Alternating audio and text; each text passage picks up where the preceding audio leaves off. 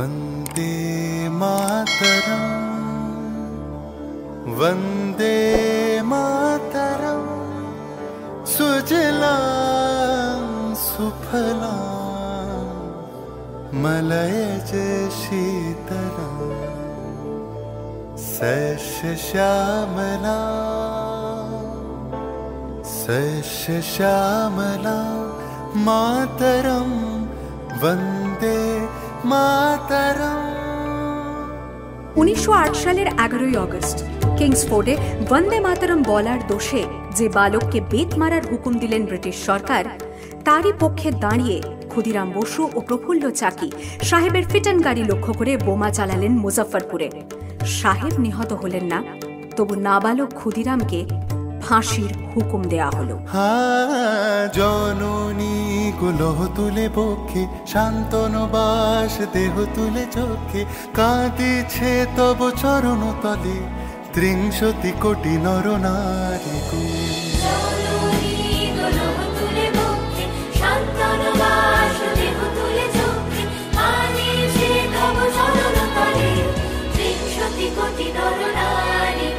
যারা স্বর্গগত, তারা এখনও জানে, স্বর্গের চেয়ে প্রিয় জন্মভূমি এসো স্বদেশ প্রতের মহাদীক্ষালু। সেই মৃত্যুঞ্জয়দের চরণ চুমি যারা জীর্ণ জাতির বুকে জাগালো আশা, মন মলিন মুখে জোগালো ভাষা। আজি রক্ত কমলে গাথা, আজি রক্ত কমলে গাথা মানলো খালি বিজয় লক্ষ্মী দেবতাদেরই কলে মুক্তির মন্দির শোকানো তলে কত প্রাণ বলিদান লেখা আছে অশ্রু জলে, লেখা আছে অশ্রু জলে। নয় সেপ্টেম্বর উনিশশো পনেরো। ইংরেজদের সঙ্গে সম্মুখ সমরের স্বাধীনতা ছিনিয়ে নিতে অস্ত্র আনার পরিকল্পনা করেন যতীন্দ্রনাথ মুখোপাধ্যায়। বালেশ্বরে সঙ্গীদের নিয়ে জাহাজ থেকে সেই অস্ত্র নামাতে গেলে ইংরেজ বাহিনী তাঁদের ঘিরে ফেলে। বুড়িবালমের তীরে লড়াই বাঁধে বিরাট ইংরেজ বাহিনী বনাম বাঘা যতীন ও তার চার সতীর্থদের।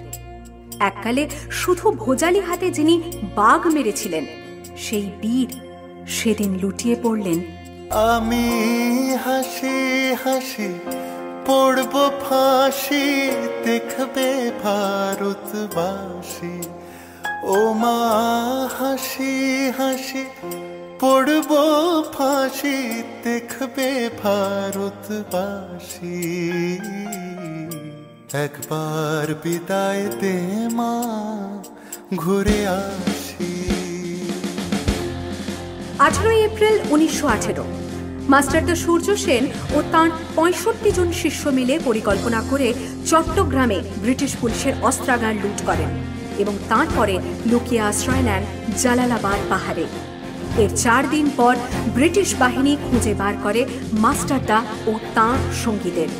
সেদিনের অস্তমিত সূর্য ছিল সূর্য সেনের রক্তের আভা। আহ্বান, শোনো আহ্বান, আসে মাখা বন পেরিয়ে।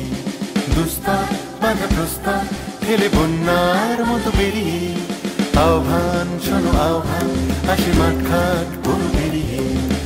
দুস্তার বাধা প্রস্তার খেলে বন্যার মতো বেরিয়ে। যুগ সঞ্চিত শক্তি দিয়েছে সারা হিমগিরি শুনলো সূর্যের ইশারা যাত্রা শুরু উচ্চ, ছুটে দুর্বার বেগে তটিনী। উত্তাপ তালে উত্তাপ নাচে মুক্ত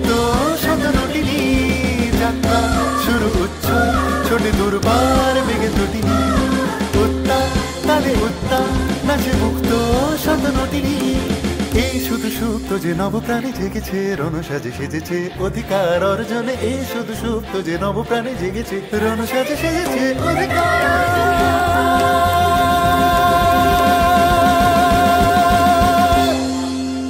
আটই ডিসেম্বর উনিশশো বিনয় বসু, বাদল গুপ্ত, দীনেশ গুপ্ত। সাহেবী পোশাকে ট্যাক্সি থেকে এসে নামলেন রাইটার্স বিল্ডিং এর সামনে। সোজা উঠে গেলেন দোতলায়। সামনেই সিমসনের ঘর। দ্বাররক্ষীকে ঠেলে ঢুকে গেলেন ভেতরে। বন্দুকের আওয়াজে গর্জে উঠল রাইটার্স। লুটিয়ে পড়লেন সিমসন। এরপর রাইটার্স বিল্ডিং এর অলিন্দ বারবার গর্জে উঠল বিপ্লবীদের গুলির শব্দে। তারপর টেগার্ড সাহেব তার বাহিনী নিয়ে ঘিরে ফেললেন বিনয় বাদল দীনেশকে।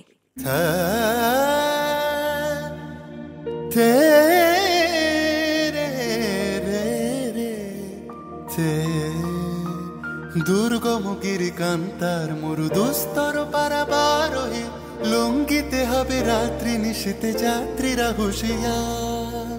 চব্বিশে সেপ্টেম্বর উনিশশো বত্রিশ, মাস্টার দ্য সূর্য সেনের মন্ত্রে দীক্ষিত প্রীতিলতা ওয়াদেদার পনেরো জন সশস্ত্র বিপ্লবীকে নিয়ে পাহাড়তলি ইউরোপিয়ান ক্লাব আক্রমণ করে আগুন ধরিয়ে দিলেন।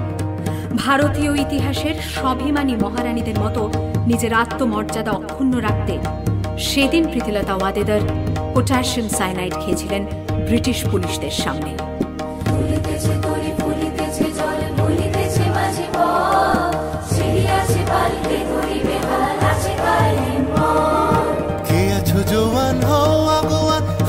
ভবিষ্যৎ। এ তুফান ভারী দিতে হবে পারি নিতে হবে তরি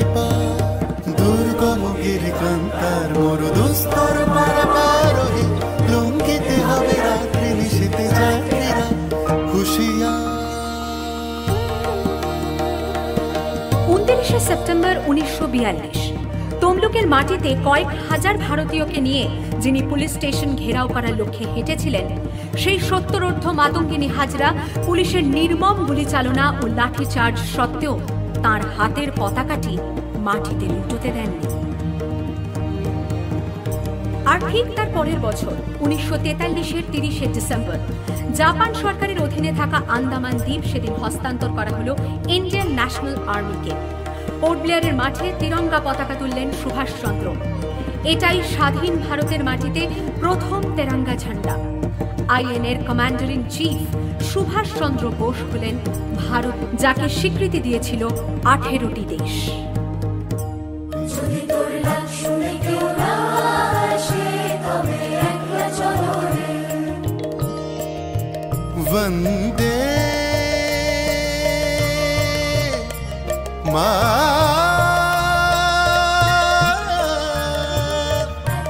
அம்மா